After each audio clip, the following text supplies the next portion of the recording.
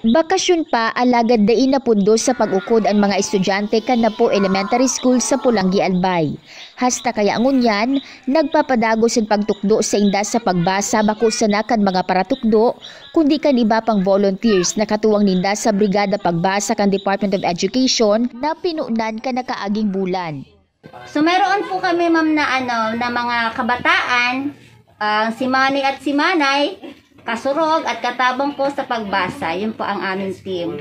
So tinuturoan po namin doon yung mga um, batang talagang sa masasabi natin na mga non-readers talaga. And then ina-accept na rin po namin ma'am yung mga out of school youth kasi may mga out of school youth dun po dito sa aming barangay. Paano nyo ginagawa bang yung ano, brigada pagbasa? Lahat ba sila?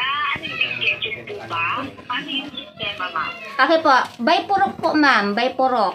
So mayroon kaming 6 na purok po dito sa barangay. So meron kaming um, volunteer teachers and readers sa um, purok 1, 2, 3, 4, 5, and 6. Ma'am, baka gustong alisin yung mask. Po yung mga bata. Yes ma'am, yes ma'am, may schedule po sila. So sa amin po, ah, kami po doon sa purok 2 ay MWF. Yung iba po, ganun rin. Yung iba, um, everyday, meron po nag everyday sila. Depende po sa availability ng magulang, ng mga volunteers, at ng teacher po. May mga magurang asin estudyante na ipigtao ang sindang libreng oras na makapagtukdo. Base po sa experience ko, base po sa natutunan ko sa pagiging magulang po ko, sa kung ano po yung itinuro ko po sa mga anak ko, in-apply ko lang din po sa mga bata. Yun lang po yung para sa akin po. Kung paano ko po tinuruan yung mga anak ko, paano po sila natuto, in-apply ko rin din po sa barangay po namin dito sa mga bata po. Gusto ko po mamaturo yung ano natutunan ko po nung nag-aaral ako at tinuturo din ko po sa mga bata. Ang estudyante sa grade 3 na si Cyril, nagpapasalamat na dawa bakasyon, igwanin brigada pagbasa. May kanipisilan pa kaya subot siya sa pagbasa. Parehong nasa Manila para magtrabaho ang sa iyang mga magurang. Bakit ka nahihirapan, Ate Cyril, nung, nung wala pa yung volunteers? Bakit ka nahihirapan? Kasi ano po, yung ah, lola ko po at mga tita may ginagawa po pag minsan. Yung, mang- yung mga magulang mo, nasaan? Nasa Manila po. Nagwo-work po sila. Kaya nahihirapan. Apo. Okay. May gusto kang sabihin sa mga volunteers? Apo. Ano yung gusto mong sabihin sa mga volunteers? Maraming salamat po at ah, nandito kayo ngayon na nagtuturo sa amin. Pero ang brigada pagbasa, dakol ng iba pang interbensyon pang edukasyon ang narealisar, tangani matabangan ang mga estudyante kan eskwelahan. Sa rodigdian proyektong Napo Difference Initiative na nabilog kan 2013.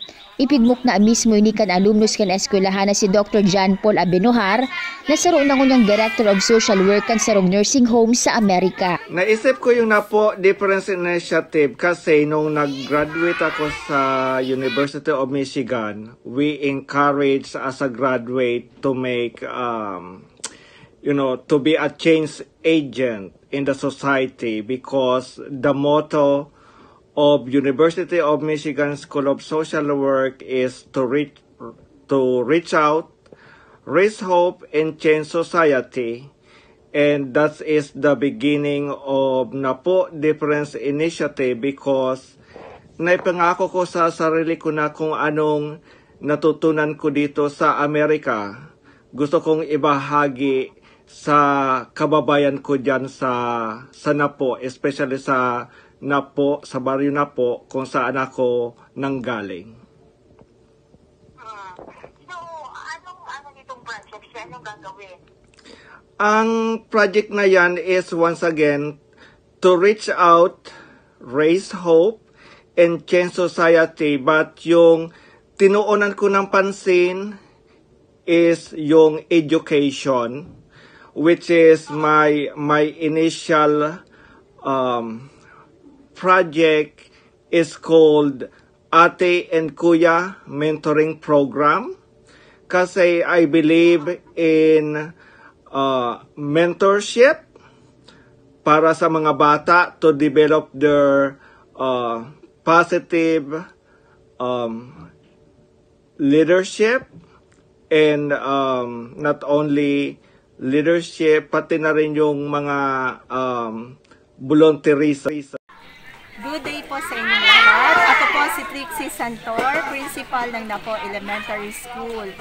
Bu uh, lubos po ako nagpapasalamat sa Napo Difference Initiative na pinamumunuan ni Dr. John Paul Abinohar at sa kanyang director na si Ma'am Margie Sablayan Billones.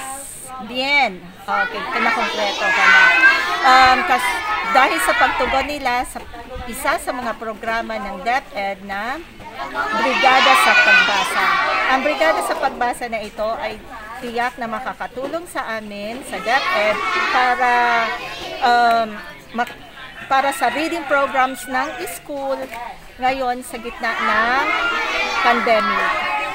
Maski nasa Amerika, padagos ang mga lakdang panedukasyon na abinuhar sa NDI.